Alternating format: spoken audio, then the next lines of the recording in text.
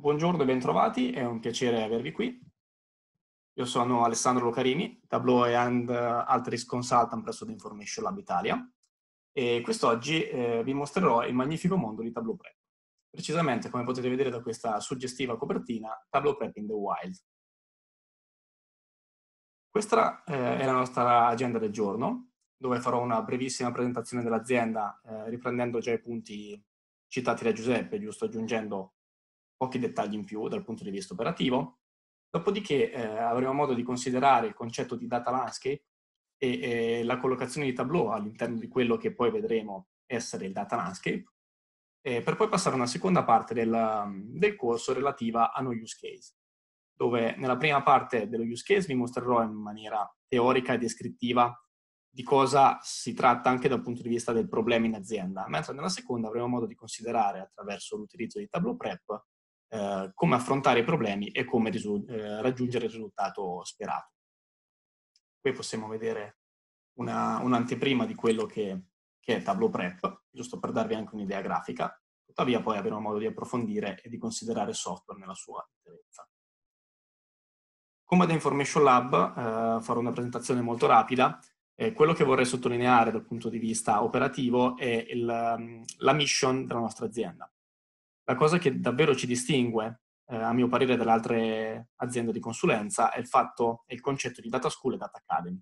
Come Giuseppe vi ha già eh, presentato, la nostra azienda si configura l'obiettivo di prendere e selezionare dei ragazzi per poi formarli internamente e quindi, come dire, creare dallo stato iniziale della conoscenza di Altrix e Tableau, che è una conoscenza eh, basilare, una formazione completa che permette di creare dei veri e propri esperti. È un po' il nostro, il nostro marchio di fabbrica ovvero quello che, eh, che, la nostra Data Academy, la nostra Data eh, School si, si, configura come obiettivo, è quello di creare dei consulenti la cui, la cui capacità e abilità nel proprio lavoro è il nostro vero e proprio marchio di fabbrica.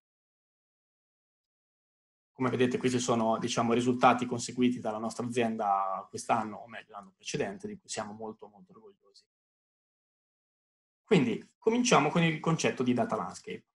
Eh, per iniziare infatti questo viaggio nel mondo selvaggio dell'analisi dati è innanzitutto fondamentale capire qual è eh, la, la, big picture, ovvero il panorama totale.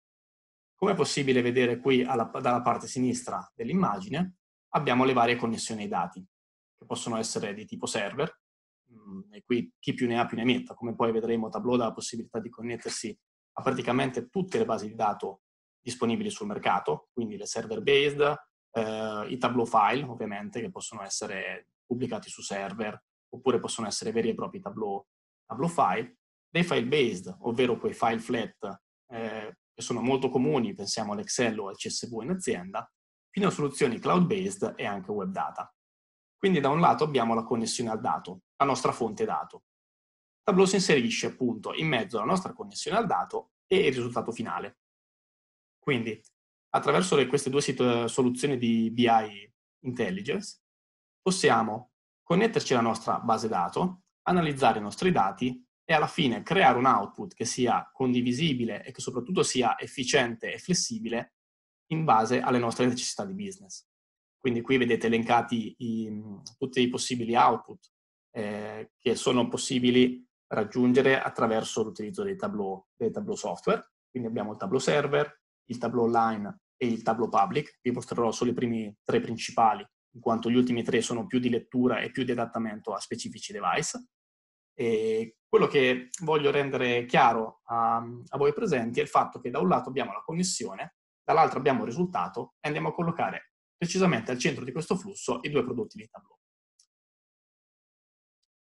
A questo punto passiamo a una definizione eh, del 99% delle aziende. Quindi andiamo proprio da un punto di vista eh, reale sul panorama che si presenta in azienda.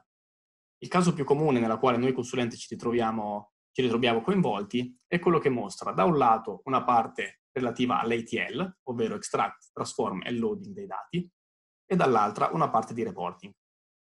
Per semplificare i due concetti, immaginiamo che da una parte, ovvero la parte sinistra di ATL, troviamo tutta, tutto il team di IT e vari developers, e quindi sono i veri e propri data provider, ovvero sono coloro che attuano operativamente, hanno le, le mani sul data warehouse, cioè coloro che con linee di codice o comunque conoscenze molto tecniche possono lavorare sulla base dato per creare il data, data sources.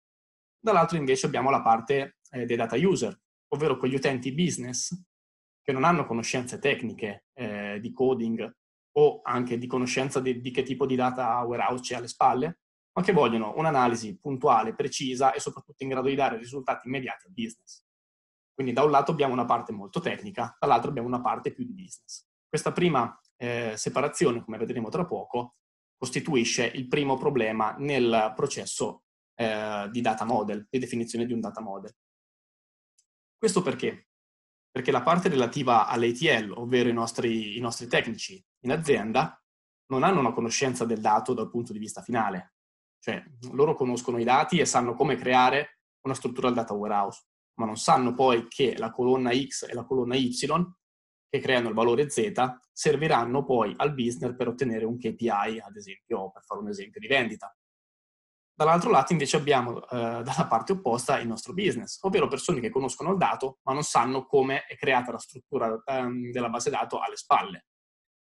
A ciò va aggiunto anche il fatto che molto spesso, come poi eh, voi molto bene sapete, il business vuole più influenza, perché il business vorrebbe essere più operativo, vorrebbe avere più indipendenza, vorrebbe insomma conoscere, avere la possibilità di lavorare con i dati per creare insight e anche proporre nuove, nuove idee al business.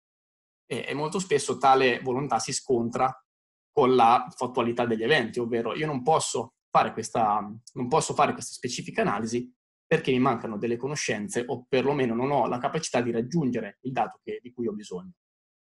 È, propria, è, un vero e proprio scontro di, ehm, di, visioni, perché da un lato abbiamo una short-term results relativa al business, ovvero analisi dati, risultati immediati, dall'altro abbiamo una long-term stability, che invece si riferisce al data warehouse ovvero voglio creare un data warehouse che sia il più stabile possibile e che implichi il minor numero di modifiche da fare, perché ciò implica un lavoro molto grande alla base.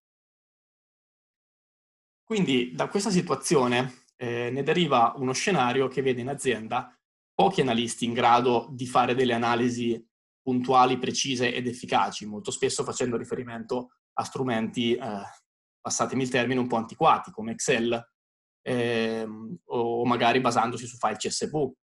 Magari in alcuni casi abbiamo anche qualche figura che ha conoscenze eh, di programmazione, di codice, di query, che riescono ad aggiungere eh, questa capacità facendone un valore aggiunto, ma sappiamo quanto sia difficile questa cosa. Perciò in questo contesto ha senso iniziare a pensare a Tableau Prep come un elemento che si va ad aggiungere a questo panorama offrendo una vasta gamma di soluzioni a quel business che altrimenti si troverebbe, diciamo, un po' disarmato. Come possiamo qui vedere nella slide, eh, PreBuilder si, pre, mh, mm, si presenta come un ATL powerhouse, ovvero qualcosa che dà la possibilità di fare una fase di ATL in maniera operativa sui dati e che permette di avere una soluzione che qui abbiamo descritto come light, perché non appunto essendo scritto, cioè essendo mm, caratterizzato da un'interfaccia grafica, non necessita di, della scrittura di linee di codice per poter utilizzare. Ora passiamo alla descrizione del nostro use case.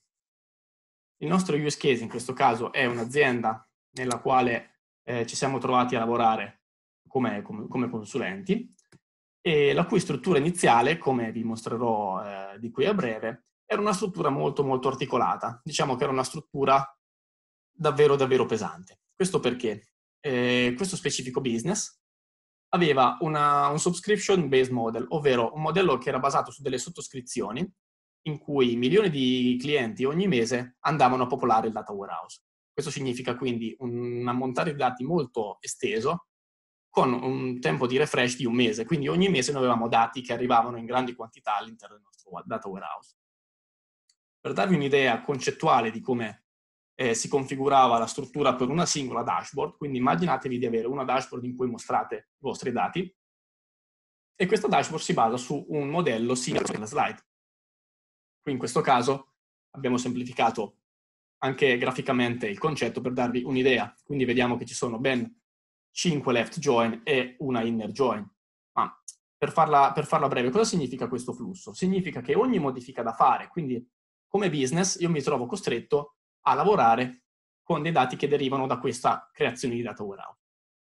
Se un domani io volessi in, inserire una nuova colonna o perlomeno creare una nuova colonna e inserirla in questo concetto di data warehouse, ci rendiamo conto di che operazione ne ha alle spalle, ci rendiamo conto che una singola modifica in uno solo degli elementi che qui vediamo collegati in join presuppone anche un lavoro molto grande di certificazione di, del dato e anche di data quality, perché sappiamo che basta poco all'interno di queste join, basta una modifica minima che modifica le chiavi di join per far sì che i dati che fino a un secondo prima lavoravano in maniera perfetta ed efficiente si ritrovano poi ad essere dati completamente sballati.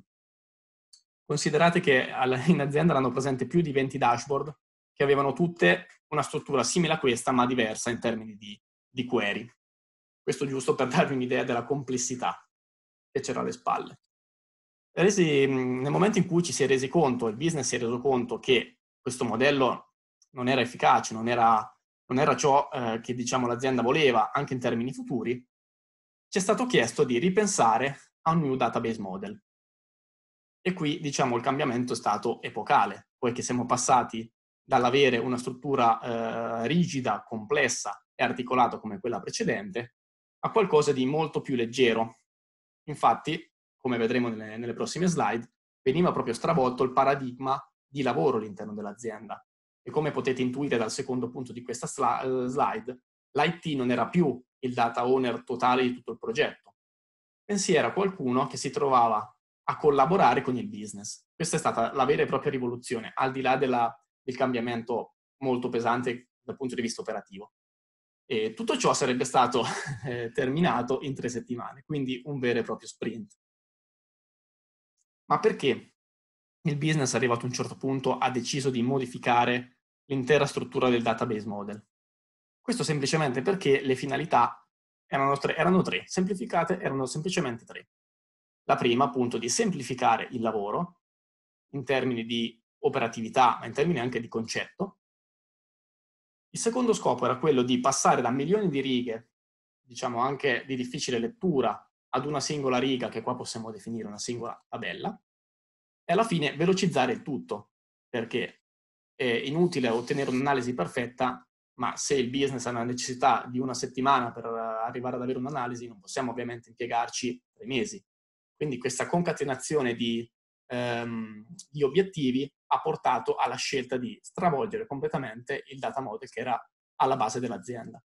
Quindi era questa struttura che, con, che includeva tutte queste, queste SQL join e join su file statici.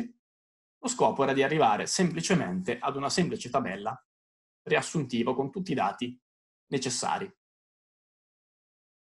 Ecco, questa è la vera, la vera rivoluzione che si è attuata. Mm, non parliamo soltanto quindi di una operatività all'interno dell'azienda, ma parliamo proprio di un stravolgimento di concetto. Infatti, come possiamo vedere ora, queste due aree che prima erano divise e non erano minimamente interlacciate tra loro, diventano essenziali nella collaborazione, in quanto l'IT si aspettava, non era più l'IT diciamo, che lavorava in maniera come se fosse un silo separato sui dati creando il data warehouse ma senza avere un minimo di finalità a livello di business. Quindi viene completamente eh, modificato il flusso di collaborazione, perché l'IT avrebbe aspettato l'input del business, ovvero dei data user, per tradurre quei bisogni aziendali in una soluzione a livello data warehouse stabile e sicura, in grado di soddisfare tutte le richieste. Quindi da un flusso monodirezionale, possiamo definirlo come precedente, si è passato a un flusso bidirezionale continuo tra le due parti. Questo non solo ha dato la possibilità di terminare il progetto in tre settimane, ma ha dato soprattutto la possibilità di creare un test continuo da parte dell'utente che aveva modo di testare i propri dati e tornare dal business, e tornare dall'IT, scusate, nel momento in cui qualcosa non, non era chiaro o non era corretto. Tutto ciò inserendo, ovviamente, Tableau Prep nel proprio flusso, e nella propria creazione del data warehouse. Quindi, ricapitolando, questi erano i tre grandi obiettivi da, da perseguire e vediamo come nell'immagine sia cerchiato e sia evidenziato proprio il fatto relativo a, ok, prima avevamo un flusso che scontentava tutti perché non era completo, in questo caso invece abbiamo un circolo continuo di informazione e collaborazione che è proprio la vera rivoluzione di questo cambio di, data, di database model.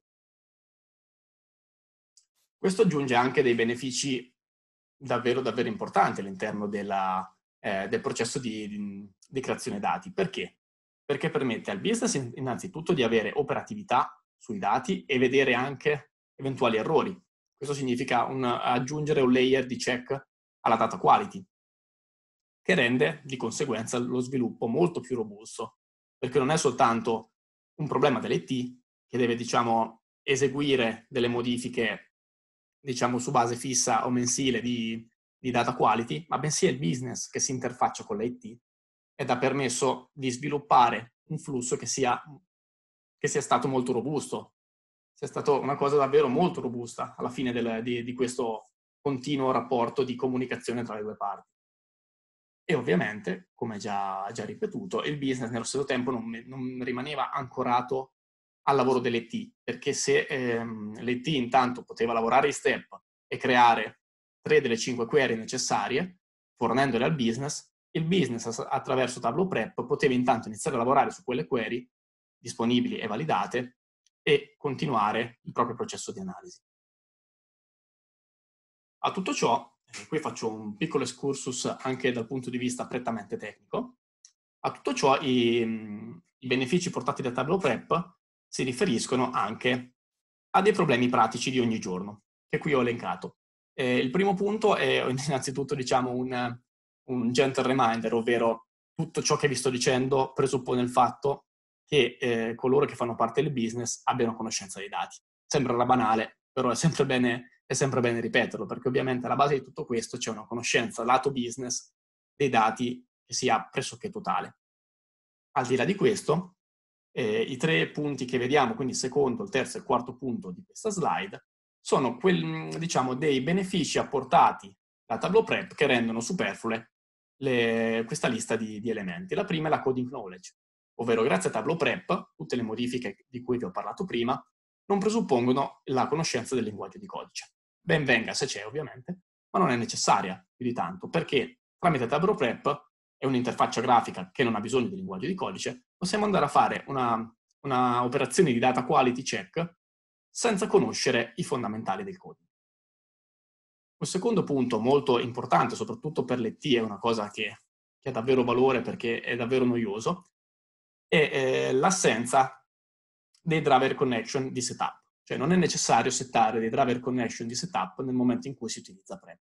E questo, credetemi, è una cosa che all'ET fa molto piacere, perché non deve perdere tempo nel momento in cui un nuovo utente si inserisce nel sistema per settare questi driver con nuovi programmi, nuove funzionalità, eccetera.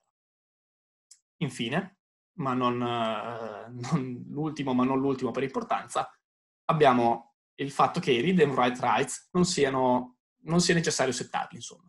Cioè tutto ciò che viene fatto con Tableau Prep lavora su un'istanza separata che non ha bisogno di settare questi tre spiacevoli, queste tre spiacevoli operazioni. E questa è una cosa che all'IT, ripeto, fa molto piacere.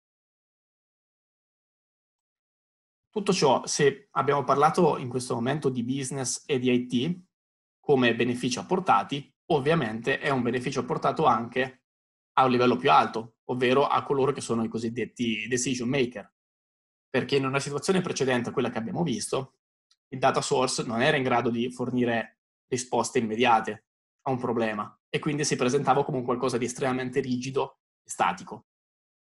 Ad aggiungersi a questo problema c'è anche il fatto che la struttura precedente, quella che abbiamo eh, visto come articolata e complessa, era appunto articolata e complessa e non permetteva un cambio all'interno dell'original data structure. Ciò significa che risposte non potevano essere eh, recepite da quel data warehouse perché era proprio difficile andare ad intaccare la stabilità del data warehouse stesso. In tutto ciò, la soluzione possibile con Tableau Desktop e Tableau Prep ha reso possibile quello che prima non era nemmeno pensabile. Ok, prima di mm, iniziare con la seconda parte dello use case, eh, innanzitutto eh, chiedo se ci sono eventuali domande riguardanti lo use case cose, o cose poco chiare. Vi chiedo cortesemente di utilizzare eh, la chat alla quale eh, chiedo la cortesia a Giuseppe di, di dare un'occhiata. prima di iniziare con la presentazione pratica del nostro use case, vorrei innanzitutto eh, presentarvi, o meglio, vorrei fare una piccola eh, piccola presentazione, due software di Tableau, perché vi ho parlato di Tableau Desktop e di Tableau Prep. Eh, ovviamente entrambi i software fanno parte della stessa famiglia Tableau. Tableau Desktop, mm, se qualcuno di voi è già familiare con il prodotto, è ideale nel momento in cui abbiamo la necessità di mostrare i nostri dati, perché è un tool di data visualization. Un tool di data visualization che comprende ovviamente una forte componente di connessione al dato, dando la possibilità di connettersi a davvero ogni tipo di dato, e dà anche la possibilità però attraverso dei calcoli di raggiungere determinati risultati, eh, come ad esempio dei campi calcolati, delle condizioni, delle if statement, eccetera, eccetera. Da un lato quindi abbiamo questo tool di BI che è l'ideale per la data visualization. Dall'altro abbiamo invece Tableau Prep. Tableau Prep è un, un, tool che ci permette di creare dei flussi, dei cosiddetti workflow. Quindi non siamo più da un punto di vista della data visualization, ma siamo da un punto di vista della, del data source creation. Quindi Tableau Prep ci permette di creare dei flussi, anche qui facendo delle operazioni che poi avremo modo di vedere anche all'interno, de, all'interno della, della parte finale del corso, ovviamente, ci permette di creare dei flussi e di fare operazioni come filtri, campi calcolati, aggregazioni. Eh, in, diciamo in poche parole ci permette di connetterci a un dato e di creare un output in base alla nostra necessità di business. Questa breve, presentazione eh, tengo a, a, farla perché come vedremo poi io in questo, in questo use case vi darò entrambe le soluzioni. Noi abbiamo lo stesso problema legato allo stesso use case che potrà essere declinato in due soluzioni differenti, una tramite Tableau Desktop e una tramite Tableau Prep. Ok. Detto ciò, possiamo iniziare a considerare il nostro use case dal punto di vista proprio pratico. Questa tabella è una tabella ovviamente riassuntiva. Abbiamo preso un sample del nostro problema perché non avrebbe avuto senso mostrarvi milioni di righe. Però la struttura era veramente questa. Cioè immaginate di, di avere questa, questa tabella che al suo interno ha ben 5 colonne in cui nella prima abbiamo una data, nella seconda una location che si distingue per location 1 e location 2, nella terza un prodotto, che anche in questo caso si riferisce a prodotto 1 prodotto 2, nella quarta colonna abbiamo un ammontare che si, che si riferisce a una singola data, ovvero la prima colonna, mentre l'ultima colonna che troviamo, se diamo un'occhiata, possiamo vedere come abbiamo solo due valori a popolare questa colonna, abbiamo due valori e il resto sono tutti zero. Questo perché?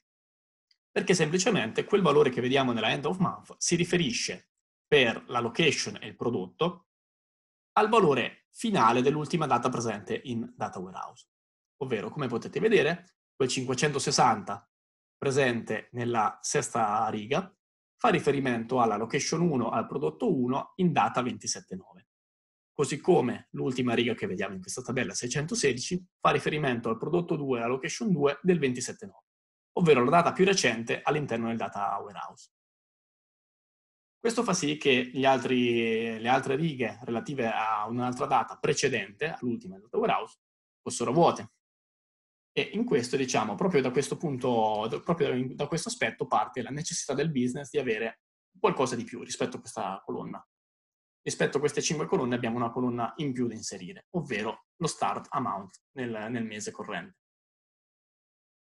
Questo start of month avrà ovviamente tutti i valori per, per ogni cella, perché se nella colonna precedente avevamo la fine del mese, ovvero valore più aggiornato in una somma di calcolo cumulato, ci aspettiamo di ottenere lo stesso valore per ogni singola riga, per ogni singola data, per tutte le righe presenti in tabella. Questo implica il fatto di dover fare un calcolo che noi qui abbiamo definito backwards. Un calcolo backwards, come potete vedere dall'esempio che spero sia il più chiaro possibile. Ho cercato di essere il più chiaro possibile, ma mi rendo conto che la logica di calcolo non è immediata. Comunque, in questa tabella cerchiamo di capire insieme qual è la finalità che era da, da raggiungere questa informazione. Vediamo che nella tabella prendiamo di riferimento quel 560. Quel 560 sappiamo che è il valore per la location 1, prodotto 1, all'ultima data disponibile nella nostra base dati. Poi abbiamo l'ammontare, che si riferisce alla singola data, quello che vogliamo fare perciò è calcolare la quantità, perché l'amount si riferisce alla quantità di location 1 e prodotto 1, all'indietro, ovvero come possiamo vedere nella, nella, slide, nella parte destra della slide, per il mese di settembre sarà necessario fare end of month meno amount relativo allo stesso mese, Di conseguenza, andando in una logica backwards, per il mese di agosto sarà necessario prendere quell'ammontare che è sempre 560, alla quale andremo a togliere il 130 che si riferisce al mese di settembre e il 120 che si riferisce al mese di agosto. Quindi questa logica di backwards, che abbiamo mostrato qui in maniera semplificata, è la necessità che aveva il business nell'inserire questa colonna mancante. Perciò ogni mese avrò bisogno anche di questa di, anche di questo valore di end of month per la location della produzione. Non è ovviamente una, una risposta, una, scusate, una colonna di cui potremo fare a meno, perché andrà ricalcolata di nuovo anch'essa. A questo punto, tornando al discorso precedente in cui vi ho parlato delle due soluzioni di BI che abbiamo uh, a disposizione, abbiamo due soluzioni possibili. In questo caso analizzeremo prima in maniera molto rapida, non mi soffermerò più di tanto su Tableau Desktop perché la finalità di questo corso è presentarvi Tableau Prep, tuttavia voglio darvi anche questa opportunità e questa alternativa. In Tableau Desktop, per raggiungere la soluzione di cui abbiamo parlato poco fa, sarebbero state necessarie due formule. Una di tipo exclude, LOD, in cui una LOD, o meglio una, level of detail, non è altro che una formula che Tableau ha al suo interno per disaggregare o aggregare un determinato, un determinato elemento all'interno della nostra formula. In questo caso come potete leggere, escluderemo la data, cioè non considereremo la data della singola riga e andremo a prendere il totale dell'ammontare dell'end of month. Eh, non so quanti di voi siano già familiari con, con Tableau e con le LOD, tuttavia, ripeto, voglio solo darvi un esempio operativo di quello che il problema avrebbe implicato se avessimo utilizzato Tableau Desktop. Questa è la prima formula, che sarebbe stata la formula necessaria per ottenere il nostro end of month, ovvero i due valori a fine mese. A ciò sarebbe stato necessario ricavare anche lo start of month con la formula che segue qui, ovvero prendendo la formula precedente e sommandoci un calcolo che in questo caso, vedete, non è proprio immediato. E perché voglio mostrarvi questa soluzione? Voglio mostrarvi questa soluzione perché, eh, mettendomi nei panni di una persona business che ha una conoscenza di Tableau non elevata o perlomeno non avanzata, creare due formule simili non è certamente una cosa immediata. Cioè, mi rendo conto che non è una cosa che, anche dal punto di vista concettuale, un utente che ha una conoscenza media di Tableau riesce ad implementare con facilità, perché sono appunto dei calcoli complessi. E ovviamente non possiamo nemmeno sapere poi, magari possiamo anche scrivere una formula che ci sembra corretta, ma basta un dettaglio per far sì che il valore non sia corretto. Quindi, cioè, per farvi capire che la soluzione da, da raggiungere attraverso Tableau Desktop non sarebbe stata immediata né facile.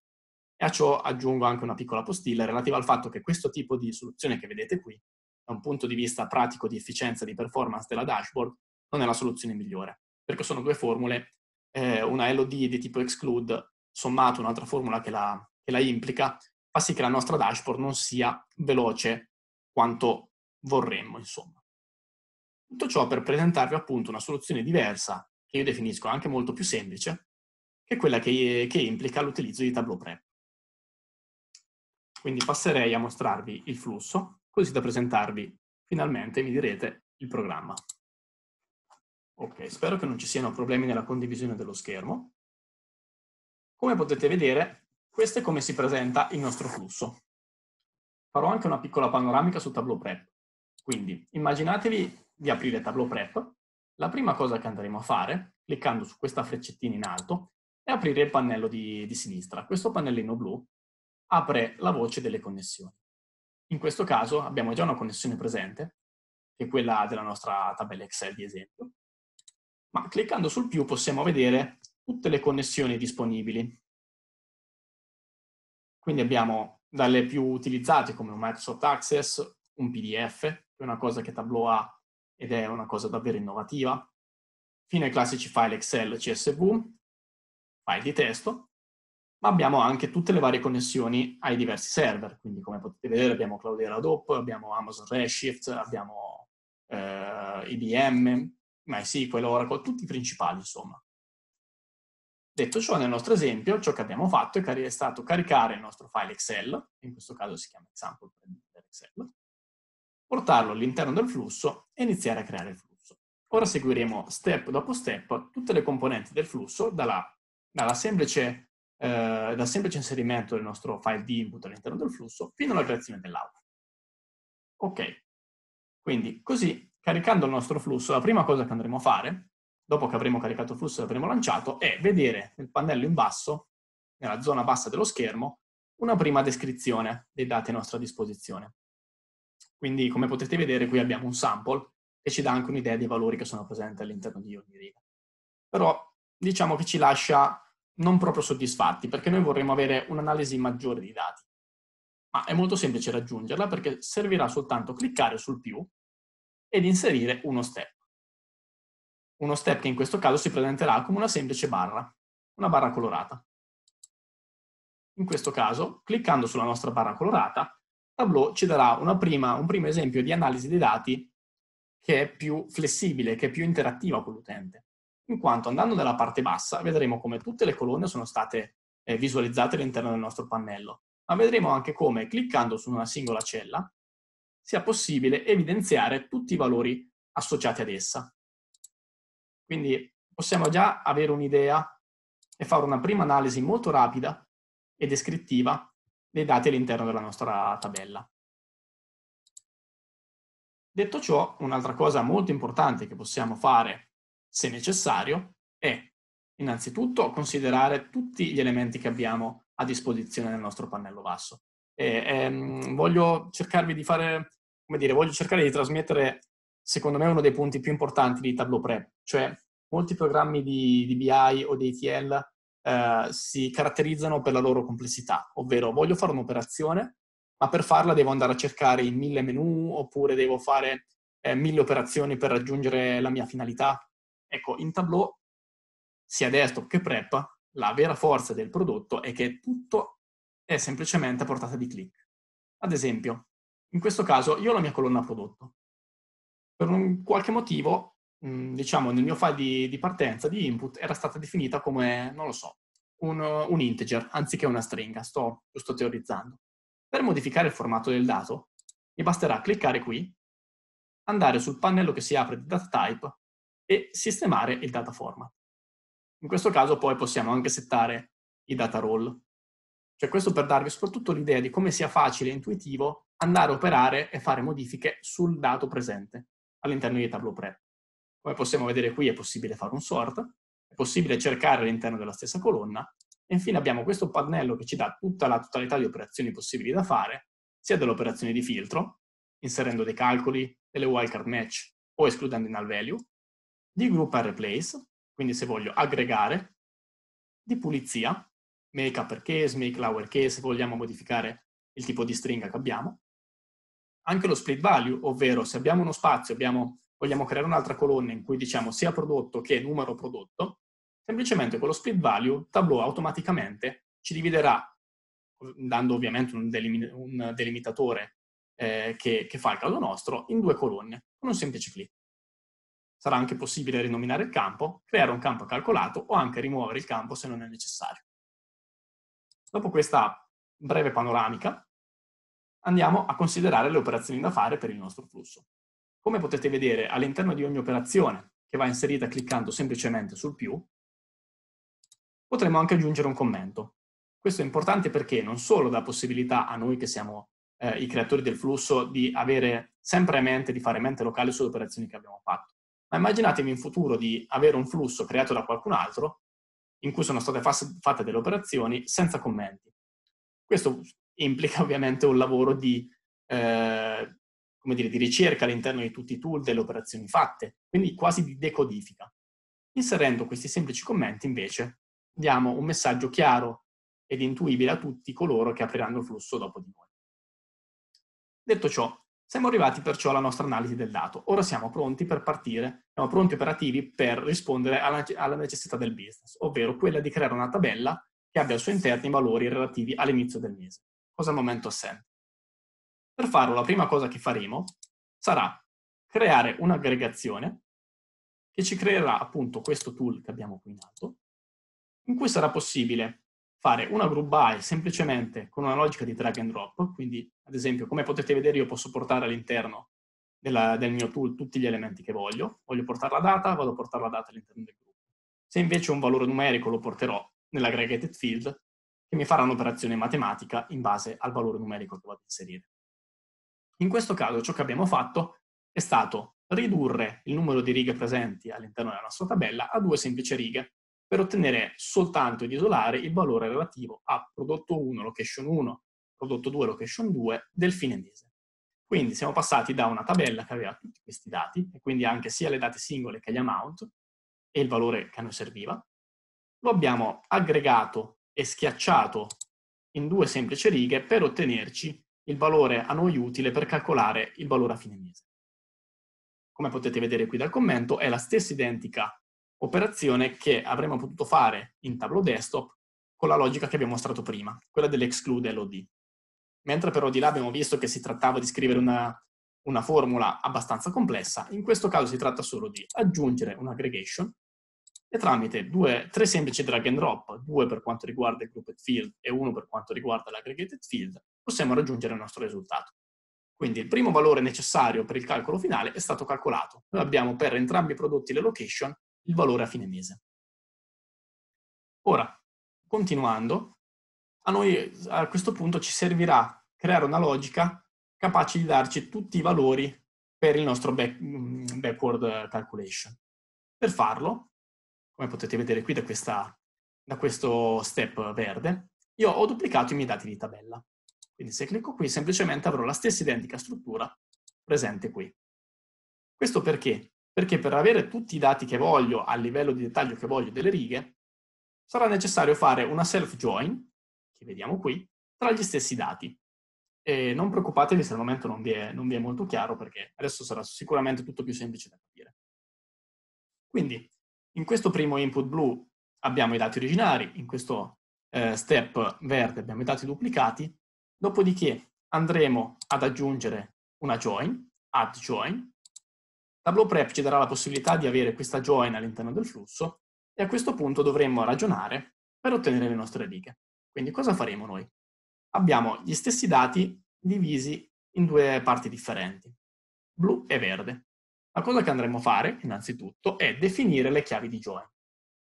Possiamo semplicemente modificare da qui, aggiungendole o rimuovendole tramite un semplice clic.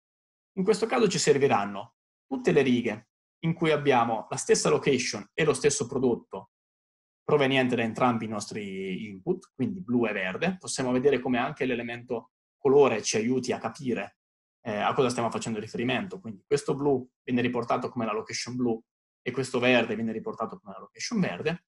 Quindi stessa location, stesso prodotto, ma la data ci servirà, ci serviranno tutte le righe in cui la data è minore o uguale tra di loro, cioè è una self-join, perciò prendiamo tutte le date che vengono dal blu e andiamo ad aggiungere in questo file tutte le date del file verde che sono minore o uguali a quelle date.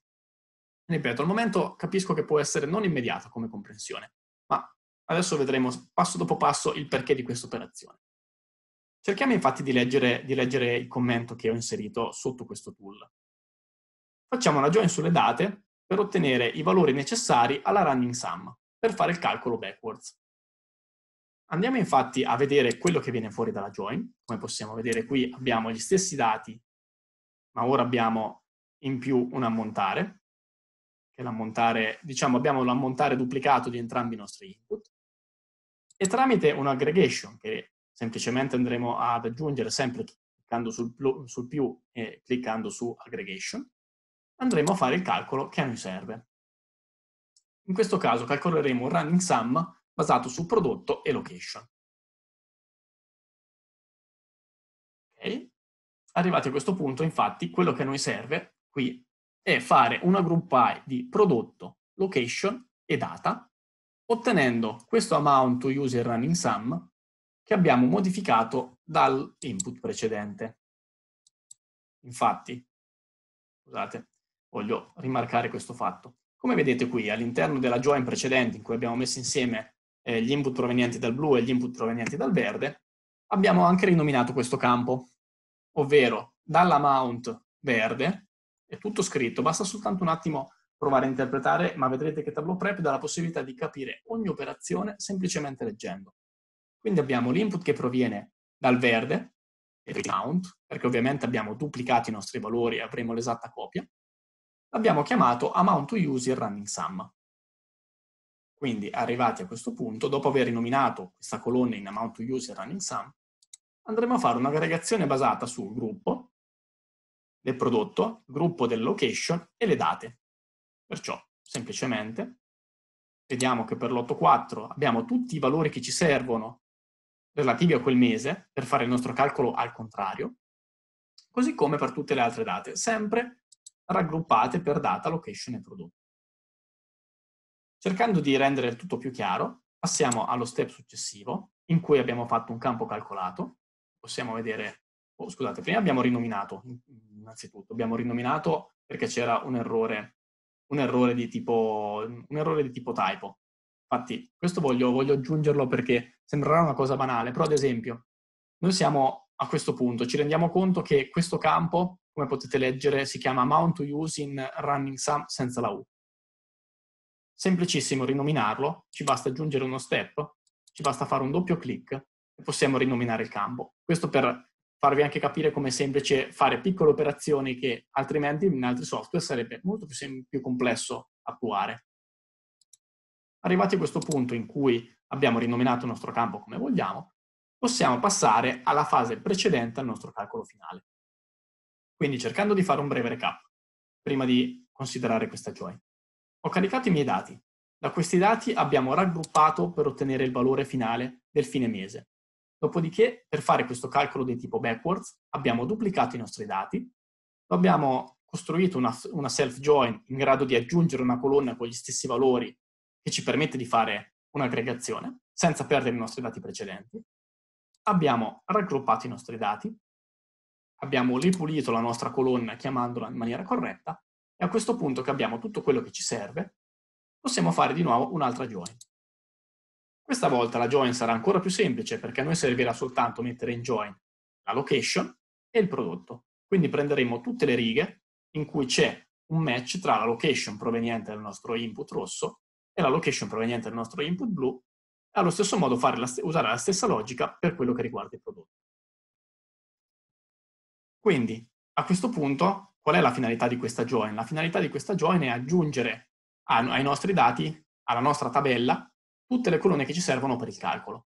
È un po' come costruire, andare ad aggiungere le colonne mancanti per il calcolo finale. Calcolo finale, che possiamo aggiungere semplicemente qui di nuovo aggiungendo uno step.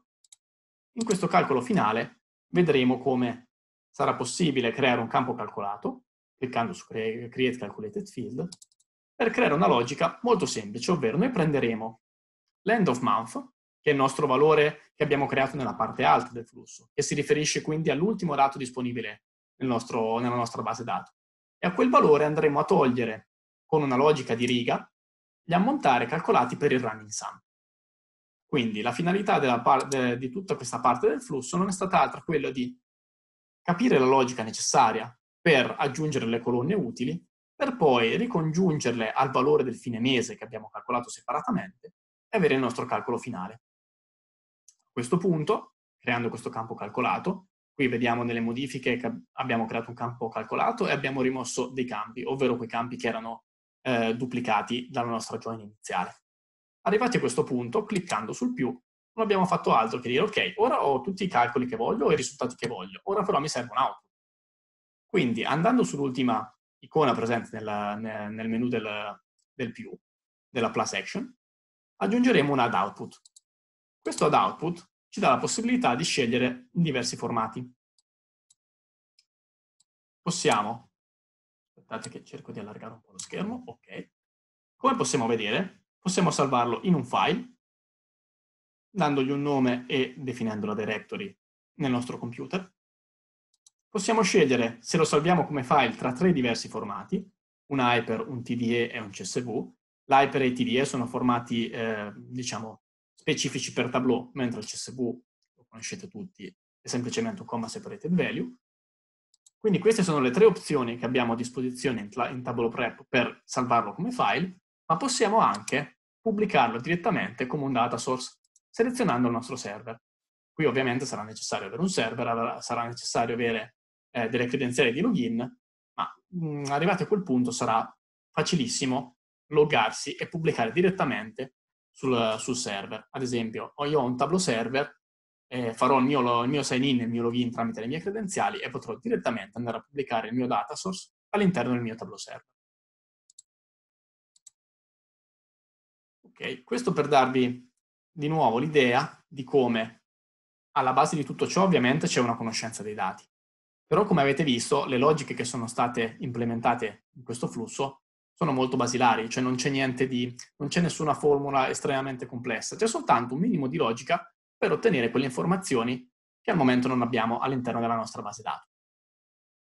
Cosa che invece, come abbiamo visto prima in Tableau Desktop, non è allo stesso modo rapportabile, perché in quel caso sarebbe stato necessario applicare non uno, ma ben due ehm, calculated field abbastanza avanzate per raggiungere questa finalità e qui davvero vediamo aver raggiunto in pochissimi passi.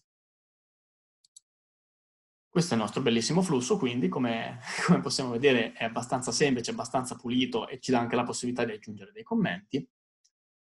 Detto ciò, spero di essere stato il più chiaro possibile. Eh, mi rendo conto che questo use case non era di immediata comprensione, ma sono sicuro che eh, è un qualcosa che avete comunque capito senza particolari problemi, nonostante le difficoltà. Detto ciò, io tengo a ringraziarvi per l'attenzione mostrata, spero di essere il più chiaro possibile. Se, mm, non, se, qualcosa è stato poco chiaro, se avete domande, vi pregherei appunto di scriverci mm, subito, al momento, dato che io ho finito la presentazione, così da poter soddisfare ogni vostra curiosità. Grazie ancora.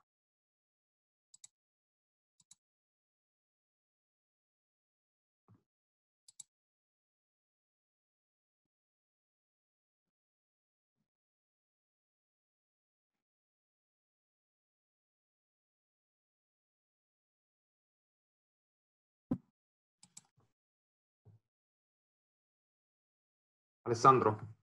Sì, dimmi Giuseppe. Sì, puoi fare una breve overview sui uh, connettori, quindi sulle possibilità di connessione al dato? Che sì, certo. La possibilità certo. di collegare Salesforce. Sì, assolutamente. Grazie. Arrivo. Ricondivido lo schermo.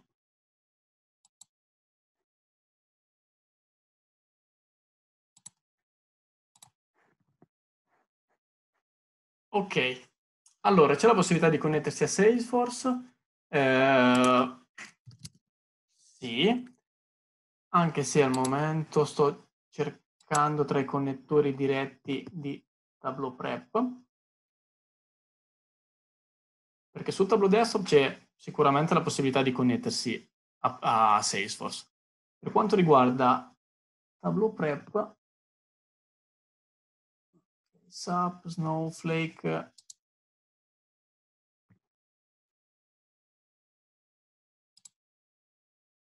Diciamo che tra i connettori immediati non lo sto visualizzando.